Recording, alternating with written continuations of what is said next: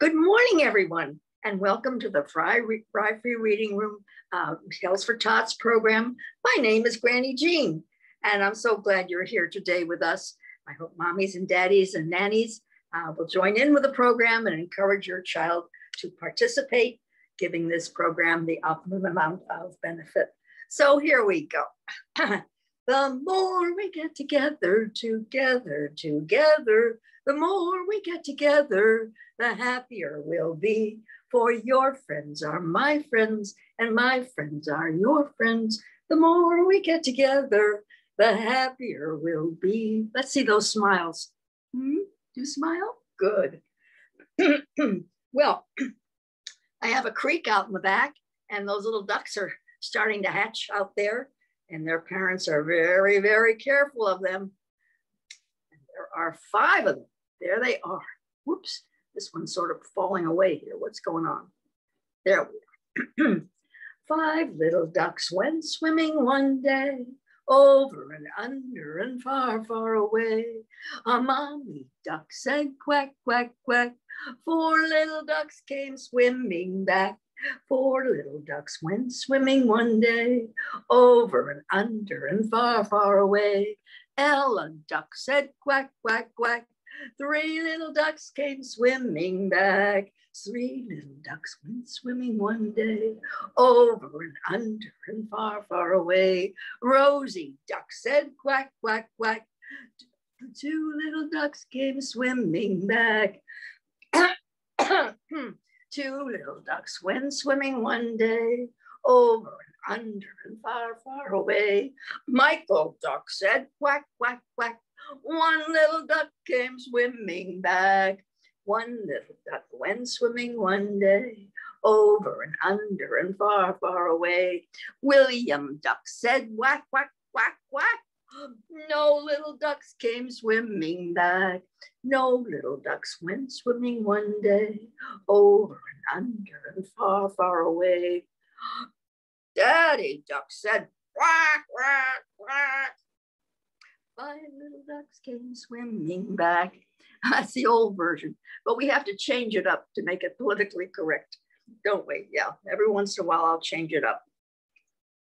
But I'll go back to daddy once in a while, sure.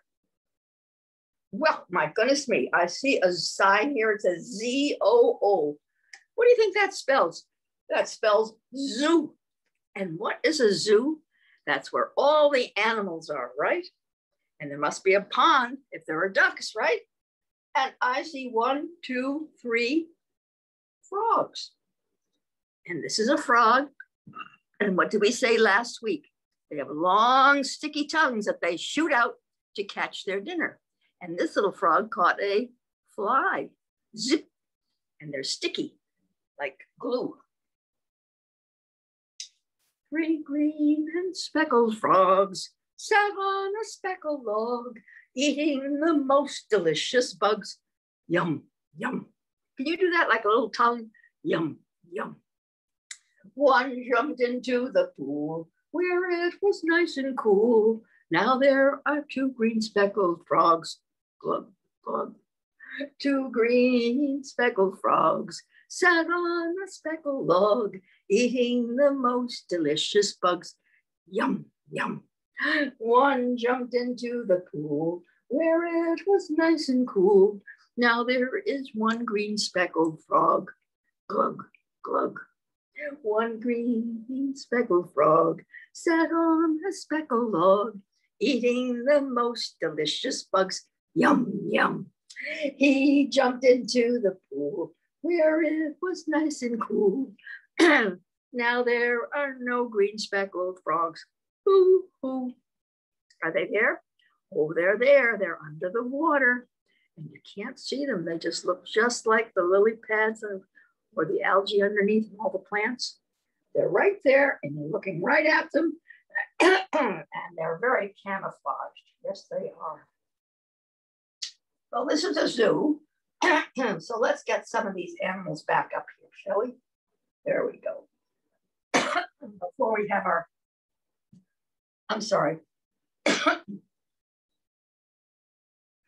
Before we have our first story, we have a tip for the day for our caregivers. And this is Wizzy Wizard. Wizzy, do you have a tip for us today? Oh, yes, Granny Jean. You don't need an alphabet book to talk about letters.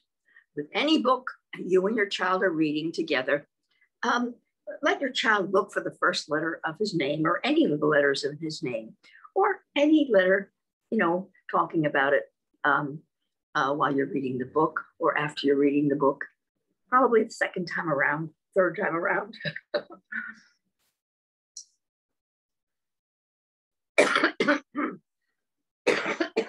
I'm so sorry. Now, you all must know this book, right?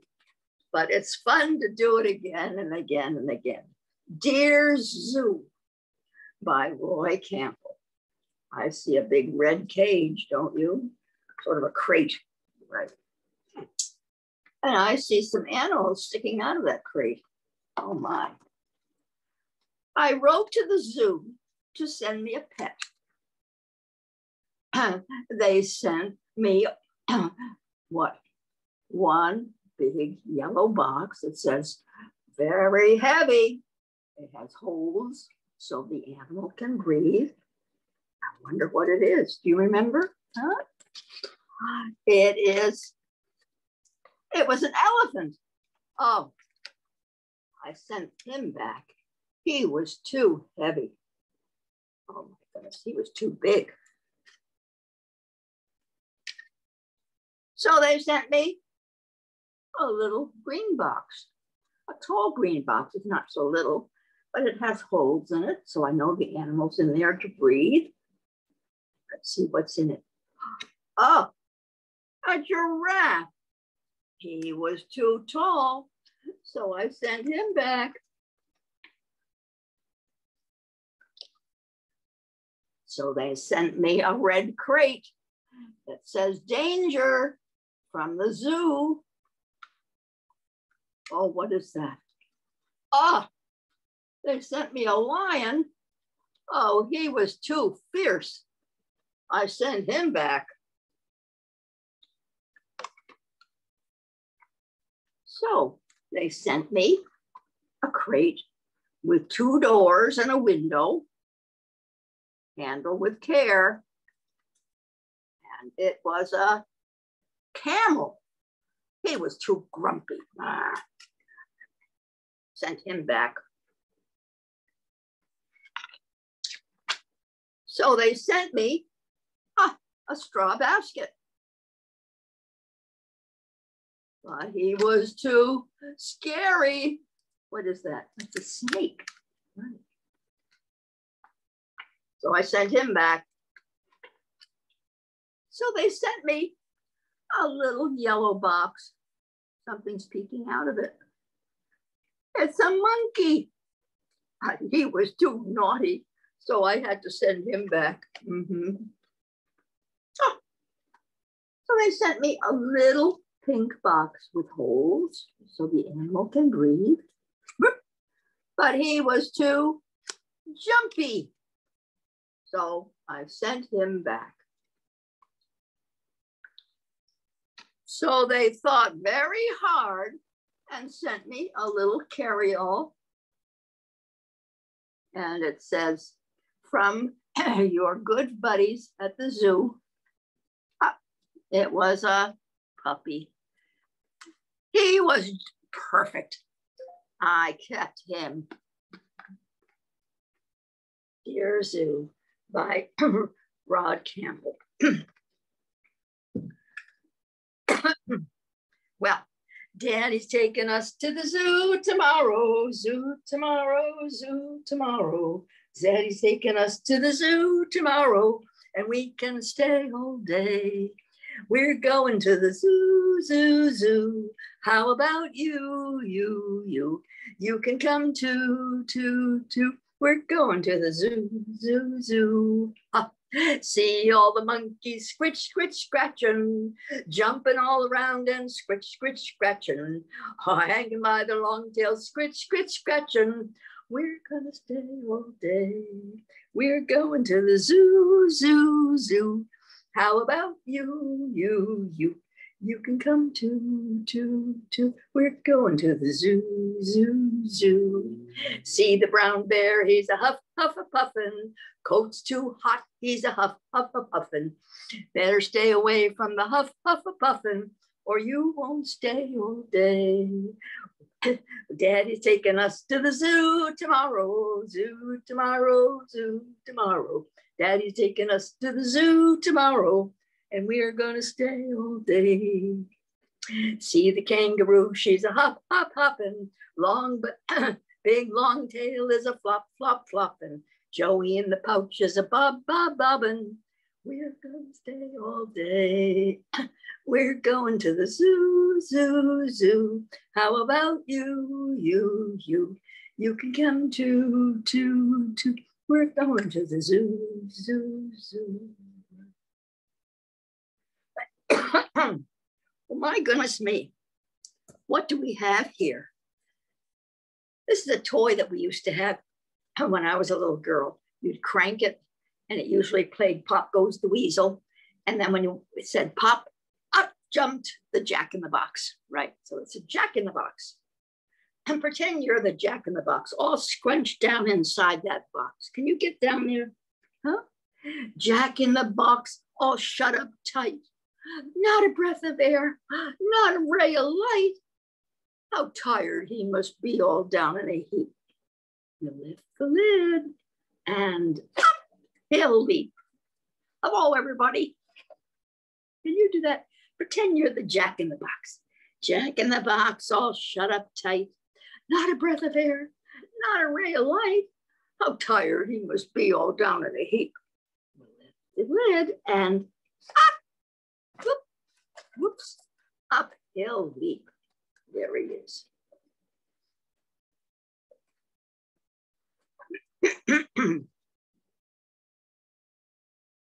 well, I have a book, and it's a pop-up book too. And it's about numbers. What are numbers? Well, that's they tell stories. They tell how many, like five little ducks, three little frogs, right? Five little ducks, three little frogs. That tells a story, right?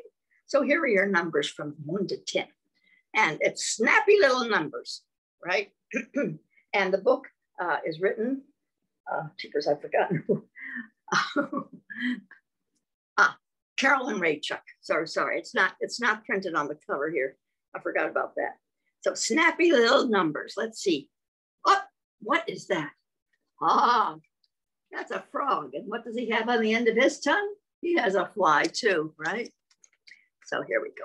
It's hard to read um, this book so that you can see the pictures at the same time because uh, when I look at the screen, they're all backwards.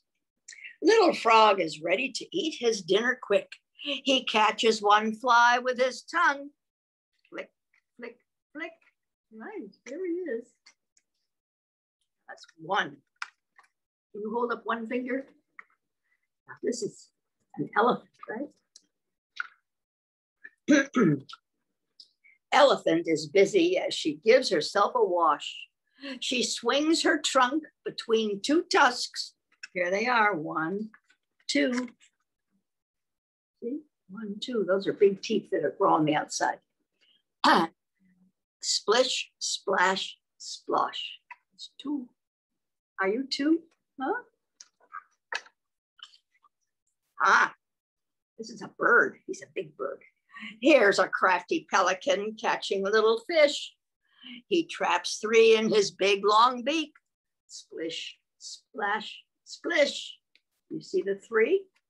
One, two, three. Two, three. ah,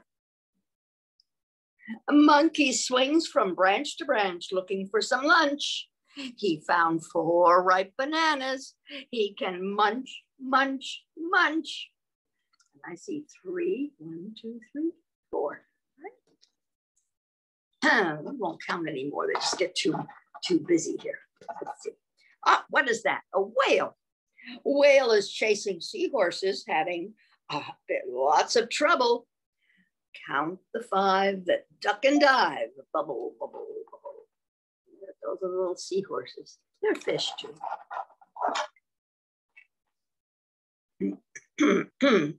ah, here's a playful puppy. She's a hungry puppy too.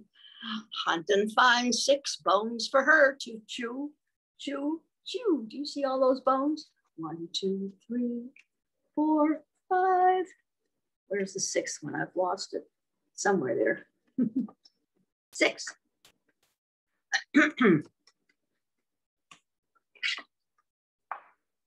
oh, oh, he's a sleepy lion. Look, mm, Ooh, he's closing and shutting, opening and shutting his eyes. Look. Mm.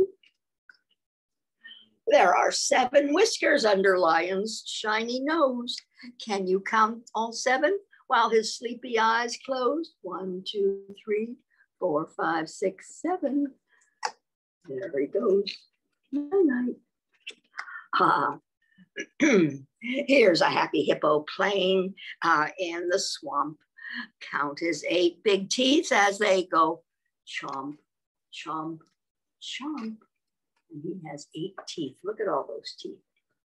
Ah, look at that hungry rabbit. What's he eating?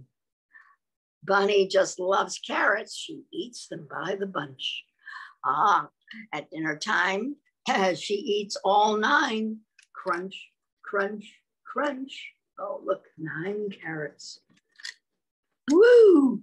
Who is that? Oh, here's a hungry crocodile. But eating makes him happy. Eating makes him happy. Count his teeth from one to 10, but you'd better make it snappy. Right. So if you have five fingers and here's five, now you have 10 fingers, just like the crocodile's teeth, right? So there we are, snappy little numbers. that book probably is out of print, I'm sorry to say. I'm sorry. Oh, my goodness me. Well, if I go to the zoo, I hope I can see a giraffe. He's one of my favorite animals. Yes, he is. Yesterday I had to laugh because I saw a big giraffe. He had a neck so very high, it reached way up into the sky. Can you pretend you're a giraffe? Oh, like that. Yesterday I had a laugh Cause I saw a big giraffe. He had a neck so very high. And I'm sorry, it reached way up into the sky. Oh my goodness. Let me do that one again. Yesterday I had to laugh Cause I saw a big giraffe. He had a neck so very high. It reached way up into the sky. Now that's better. Ah, Granny Jane, good grief. Well, at that zoo, there are probably all sorts of little creatures, don't you think? I think there might be some mice eating up some of the some of the food there that gets spilled out of the troughs. I think so. So there's a little mouse. And probably on the plants, since they don't spray, I'm sure, there might be a little snail. What do you think? What is a snail? There we go. Some of them live in the ocean, but some live in the gardens, right? And there they are. There's a little snail. He has a shell. He's kind of a squishy little fellow without it. So here we go. Pretend you have a snail. Creeping, creep. Slowly, slowly, very slowly creeps the garden snail. Slowly, slowly, very slowly up the wooden rail. Quickly, quickly, very quickly runs a little mouse quickly, quickly, very quickly round about the house. It's a great little tickly game when you're um, dressing your kids and uh, distracting them from the ordeal. So here we go. Slowly, slowly, very slowly creeps the garden snail. Slowly, slowly, very slowly up the wooden rail. Quickly, quickly, very quickly runs a little mouse. Quickly, quickly, very quickly round about the house. A great little tickly game. Yes, it is. well, good grief, what do we have here? We have an old song.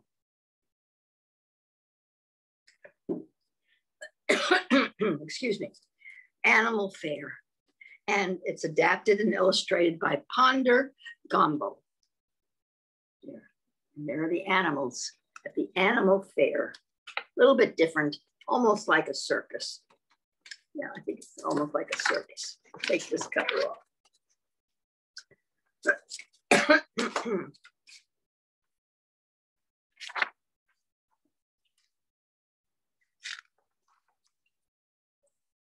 and there are tents, small tents. Yeah, small tents. I went to the animal fair. The birds and beasts were there. The big baboon by the light of the moon was combing his auburn hair. The seals sang silly tunes while blowing up big pink balloons. The kangaroos had nothing to do but rattle six silver spoons. That's part of a little musical band when he played the spoons. The toucans in the trees were watching the chimpanzee. What is a chimpanzee? And the monkey, there he is. The chimps were shy. they covered their eyes and swung on the high trapeze. Look at that.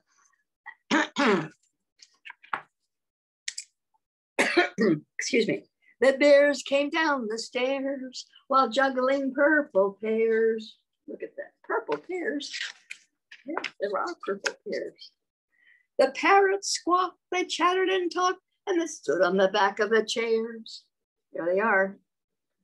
Ah, there's the elephant. Next came the mischievous monk. He jumped on the elephant's trunk. The elephant sneezed and fell on his knees.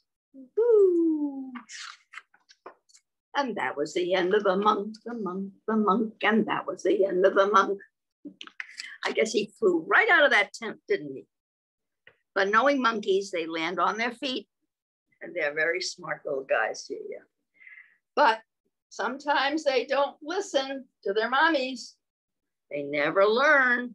No.